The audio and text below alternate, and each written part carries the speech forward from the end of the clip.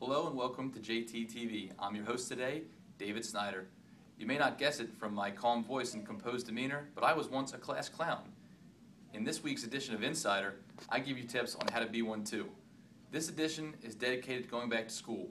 We look at how to protect your kids from sexual predators. We look at the pros and cons of sending an Orthodox student to public school. And we look at how much sleep your child needs to be healthy and perform well in the classroom. Also, in our expanded news brief section, we talk about Governor Martin O'Malley's potential run for president. We tell you how to save a life, or possibly save a life, by giving a kidney to Harry, and we explain a new innovative technology being used by Chesapeake Urology. In business, we talk about three generations of successful lawyers. Do you read the JT in print or online? You can get a subscription at jewishtimes.com slash subscribe.